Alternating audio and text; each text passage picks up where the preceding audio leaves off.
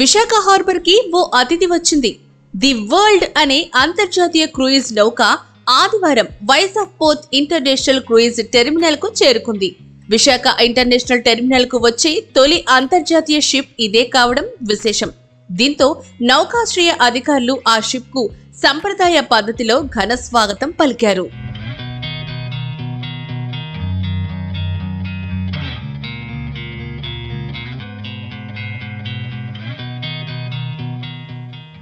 ఈ నౌక ద్వారా ఎనభై మంది ప్రయాణికులు విశాఖకు చేరుకున్నారు. వీరంతా ఆది సోమవారాల్లో విశాఖ నగర అందాలను వీక్షించనున్నారు. తిరిగి ఈ నౌక సోమవారం రాత్రి వైజాగ్ హార్బర్ నుంచి పోర్ట్ బ్లెయిర్ బయలుదేరి వెళ్తుంది. ఈ భారీ షిప్ను చూసేందుకు వైజాగ్ ప్రజలు భారీగా తరలివచ్చారు. చూడటానికి ఓ భారీ భవంతిలా కనిపించే ఈ నౌక రాకతో సాగర నగరం మురిసిపోయింది. గతంలో ఎన్నడూ ఇంత భారీ నౌక వైజాగ్ హార్బర్కి రాలేదని స్థానికులు చెప్తున్నారు.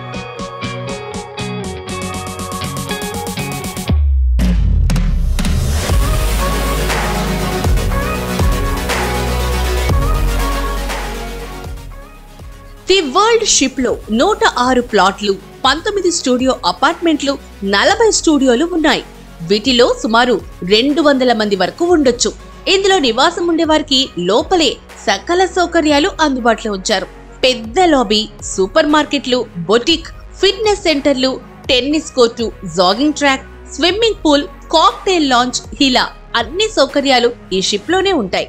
నౌక వివిధ నగరాలకు చేరుకున్న సమయంలో వీరంతా స్థానిక పర్యాటక ప్రాంతాలు సందర్శించి తిరిగి నౌకలోకి వెళ్ళిపోతారు అలా వీరి ప్రయాణం మొత్తం సముద్రం మీదే సాగిపోతూ ఉంటుంది.